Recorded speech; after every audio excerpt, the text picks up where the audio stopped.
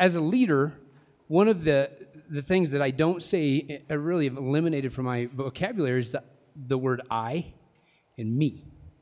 Because really, as a, as, a, as a leader of an organization that serves 540 kids and about 50 staff members, I don't accomplish anything. It's the power of we that accomplishes a whole lot. And some amazing teachers doing amazing things have gotten some amazing results.